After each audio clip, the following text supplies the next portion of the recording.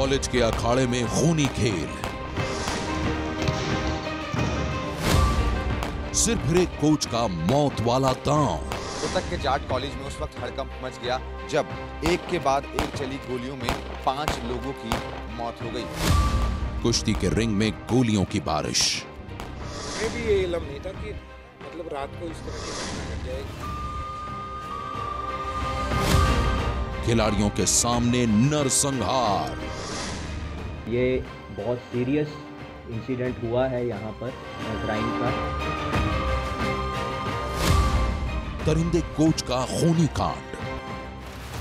धाए धाए धाए वो ताबड़तोड़ गोलियाँ चला रहा था और एक के बाद एक लाशें गिर रही थीं। इससे पहले कि कोई कुछ कर पाता उसने लाशों के ढेर लगा दिए। दास्तान रोहतक के दरिंदे कोच की है। एक ऐसे सिर फिरे कोच की है, जिसके खूनी खेल ने सारे शहर में फैला दी है सनसनी कौन है वो कोच जिसने हरियाणा के रोहतक में लाशों के ढेर लगा दिए? कौन है वो दरिंदा जिसने पाँच लोगों की सरेआम हत्या कर दी? सनसनी में आज हम आपको ये पूरी कहानी बताएँगे। आज हम आपको दिखाएँगे एक कोच का वो खूनी चेहरा जिससे किसी को भी डर लग सकता है। तारीख 12 फरवरी, रोहतक के जाट कॉलेज के जिम्नेजियम में खिलाड़ियों की भीड़ लगी थी। कुश्ती के रिंग में पहलवान अलग अलग दांव के ज़ोर आजमाइश कर रहे थे। पहलवानी की यह प्रैक्टिस कोच मनोज मलिक की निगरानी में हो रही थी। मनोज खिलाड़ियों को कुश्ती की बारीकियाँ समझा रहे थे, लेकिन वो ये नहीं जानते थे कि कुश्ती के इन दावों पर बहुत जल्द मौत का अटैक होने वाला है।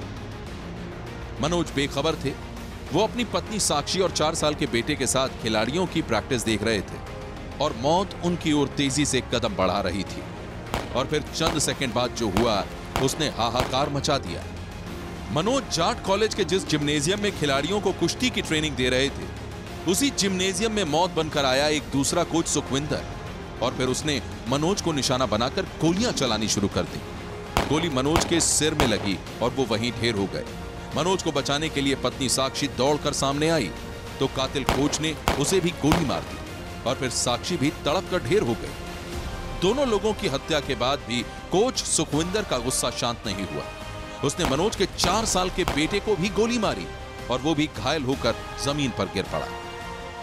सुखविंदर के खूनी खेल को देखकर जब मौके पर मौजूद कुछ खिलाड़ियों ने उसे पकड़ने की कोशिश की तो सुखविंदर ने उनके ऊपर भी गोलियों की बौछार कर दी और फिर तीन और लोग बेमौत मारे गए।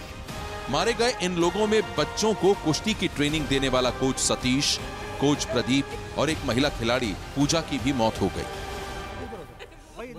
दिल दहला देने वाली इस वारदात की खबर जब रोहतक पुलिस तक पहुँची तो पुलिस की एक टीम फ़ौरन मौका वारदात पर पहुँच गई और फिर सामने आई दो कोच की रंजिश और खूनी इंतकाम की वो कहानी, जिसे सुनकर हर कोई सन्न रह गया।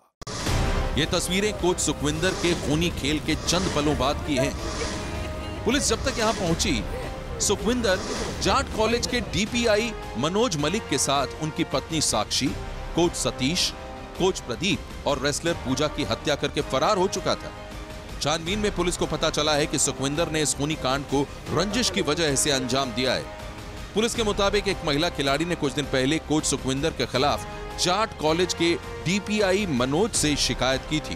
खिलाड़ी की शिकायत के बाद मनोज ने सुखविंदर को कोच के पद से हटा दिया था और इसी बात का बदला सुखविंदर ने दिल दहला देने वाले इस कांड से लिया।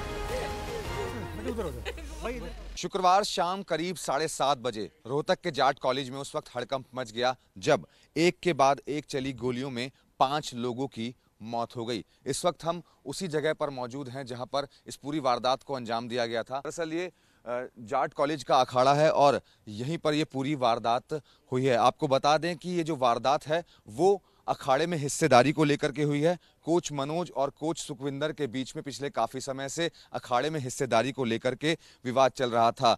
बताया जा रहा है कि कल शाम को करीब साढ़े सात बजे कोच सुखविंदर यहाँ पर पहुँचा और उसकी मनोज से बहस हो गई। इसी बहस के बीच में सुखविंदर ने अचानक से गोलियाँ चलाना शुरू कर दिया।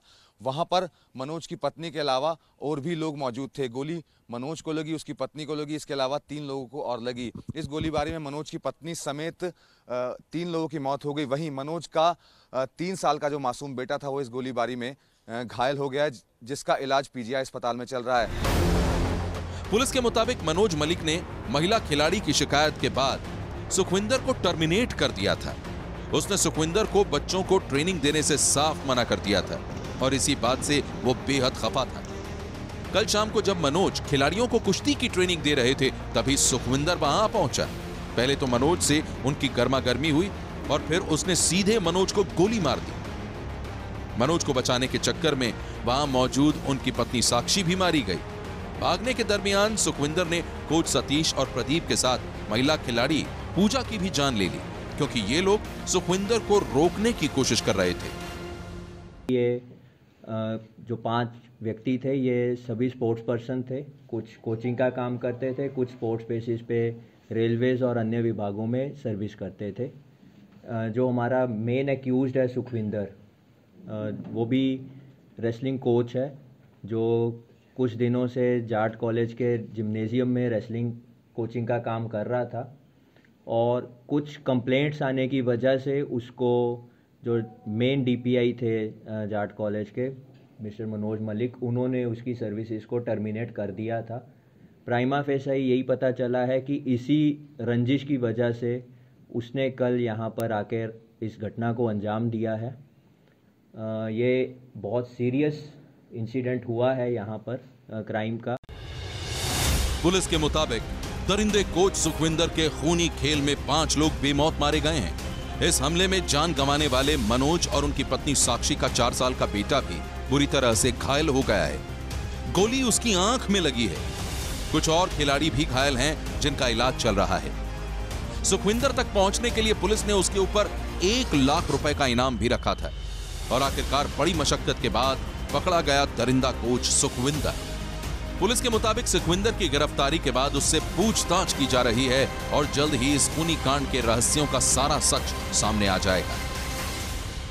कल की घटना का हमें बेहद अफसोस है, बहुत ही दर्दनाक हादसा है। हम सब स्तब्ध हैं, हम सब बहुत इस बारे में दुखी हैं कि जाट कॉलेज से हमारा एक इतना होनहार डीपी मनोज मलिक और इसका हमें बिल्कुल अंदाज़ा नहीं था कि ऐसा कुछ घटित हो सकता है। नहीं, कभी नहीं, कभी हमारे नहीं, हमारे संज्ञान में कभी भी कोई किसी तरह का नहीं था। एक कोच दरिंदा बन गया। उसने पाँच लोगों को गोली मार दी। सरेआम उनकी जान ले ली, लेकिन अब वो पकड़ा गया है। पुलिस उससे पूछताछ कर रही है। वहीं उसके खूनी खेल के बाद पीड़ित परिवार मातम में डूबा है। एक कोच इतना बेरहम हो सकता है, उन्हें अब भी यह यकीन नहीं हो रहा है। पुलिस के मुताबिक, मनोज मलिक जाट कॉलेज में डीपीआई थे। उनकी पत्नी साक्षी रेलवे में नौकरी करती थी। इसके अलावा मरने वाले सतीश कोच थे, जो यहाँ कोचिंग का काम करते थे। प्रदीप मलिक जिनकी मौत हुई है, वो भी रेलवे में थे और अक्सर प्रैक्टिस करने के लिए जाट कॉलेज में आते थे। इसके अलावा एक मथुरा की छात्रा थी पूजा। जो बतौर स्टूडेंट यहाँ पर रेसलिंग की ट्रेनिंग कर रही थी और अब इन तमाम लोगों के घरों में मातम पसरा है।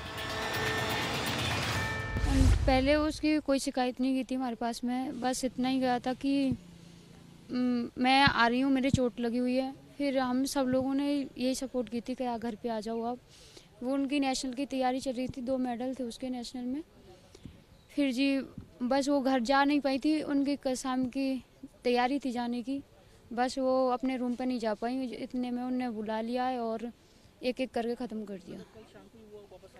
हाँ जी, वो शाम को जाने वाली थी, उनकी तैयारी वैयारी भी थी। अपनी फ्रेंड सर्कल में भी बताया था उन्होंने कि मैं जाऊँगी टाइम ना जी, कोई शिकायत की, हमारे पास कोई शिकायत नहीं थी उसकी, ना कोई ऐसा कुछ नहीं मैटर ही नहीं था। पूजा के परिवार वालों की माने तो पूजा ने कोच मनोज मलिक और सुखविंदर के झगड़े के बारे में उन्हें कभी कोई जानकारी नहीं दी थी। और अब बेटी के मर्डर के बाद इनकी पूरी दुनिया वीरान हो गई है। हम तो केवल फ़ोन और राज़ी खुशी लेते रहते तो जो सब ठीक है कसम ना। और जब वो अब वो दस दिन पहले आई एक तारीख के लिए वो आई है। कुछ नहीं। और यही बोली नहीं इतना ला रहा है। तो वो प्रैक्टिस की तैयारी करनी भाई मैंने तो नौ नौ नौ बजे के लगो सुखविंदर के खूनी खेल में मारे गए सतीश के पिता का कहना है कि आरोपी सुखविंदर और उनके बेटे सतीश 20 साल से एक दूसरे के दोस्त थे। सुखविंदर ने ऐसा क्यों किया इन्हें भी समझ में नहीं आ रहा है। कम से कम बीस साल से जानते हैं। किस तरीके के संबंध थे दोनों के बीच? बहुत अच्छे संबंध थे इनके। तो आखिर ऐसा अचानक क्या हो गया कि पता नहीं इनका क्या हो गया अचानक। कभी सतीश ने आपसे कुछ बात की। नहीं निकिन के बारे में कुछ ऐसी बात नहीं बताई हमारा मन में टाव नहीं कुछ नहीं। कोई बात नहीं की। नहीं कोई बात नहीं की थी। हाँ घर में आना जाना हमारे रास्ते हाँ रिश्तेदारों तक जाता है। इस खूनी कांड में अपने बेटे मनोज और बहू साक्षी को खोने वाले मनोज के पिता की माने तो उन्हें भी अपने बेटे और सुखविंदर के विवादों की जानकारी नहीं थी। सुखविंदर के इस खूनी खेल ने इस बुज़ुर्ग पिता की ज़िंदगी को भी वीरान कर दिया है। मनोज प्रैक्टिस करवाता बच्चों की जाट कॉलेज में। तो उसने ये पंद्रह हज़ार रुपये महीने के ऊपर कोच रखा था सुखविंदर। तो इसका कुछ शिकायतबाजी लड़कों से या लड़कियों ने शिकायत करी थी शिकायत करी थी इसको मनोज ने मना कर दिया कि भैया आप प्रैक्टिस कराने नहीं आओगे। बस इतनी बात थी और इससे ज़्यादा कुछ भी नहीं हुआ। आरोपी को पहले जानते थे ये? हाँ साथ में रह रहे अच्छा वो भी कोच। और अब मिलिए रोहतक के उस पत्रकार से जिसे कोच सुखविंदर ने वारदात वाली सुबह ही बताया था कि अब वो जाट कॉलेज के जिम्नेजियम में बच्चों को कुश्ती की प्रैक्टिस नहीं करवा पाएगा। क्योंकि कॉलेज के डीपीआई मनोज से उसका विवाद है। लेकिन वो विवाद इस खूनी मुकाम तक पहुँच जाएगा, ये किसी ने भी नहीं सोचा था। कल मैं एक स्टोरी शूट करने के लिए सुबह आया था और मैंने स्टोरी शूट भी की थी। यहाँ जो मृतक मनोज है, मनोज मलिक जो कोच है, वो भी मौजूद थे, सुखविंदर भी मौजूद था और प्लेयर भी मौजूद थे। तो जिस तरह से हमने वाइट वाइट करने के बाद और स्टोरियाँ कंप्लीट करने के बाद हमारी यहाँ पर सुखविंदर से बात हुई। सुखविंदर ने हमारे को कहा कि अब शायद मैं यहाँ दिखाई ना दूँ। तो हमने पूछा, उसका कारण क्या है? तो उन्होंने कहा कि मनोज जो है, वो इसमें हिस्सेदारी ज़्यादा माँगता है। और मनोज जो है, यहाँ डीपी है और उनकी वाइफ जो है रेलवे में नौकरी करती है तो वो दोनों अच्छा कमाते हैं, लेकिन हमारे पास इतना ज़रिया नहीं है। तो उस हिस्सेदारी पे इनका कहीं ना कहीं झगड़ा था, और उस झगड़े को लेके हमें भी ये इलम नहीं था कि मतलब रात को इस तरह की घटना घट गट जाएगी और सुबह यहाँ सन्नाटा पसर जाएगा। एक कोच की दरिंदगी की वारदात पर रोहतक के तमाम लोग सन्न हैं। हर कोई इस खूनी वारदात का पूरा सच जानना चाहता है। ऐसे में अब देखना यह है कि पाँच लोगों की जान लेने वाला सुखविंदर अपनी गिरफ्तारी के बाद पुलिस के सामने क्या खुलासा करता है? सनसनी के लिए मनोज वर्मा की रिपोर्ट।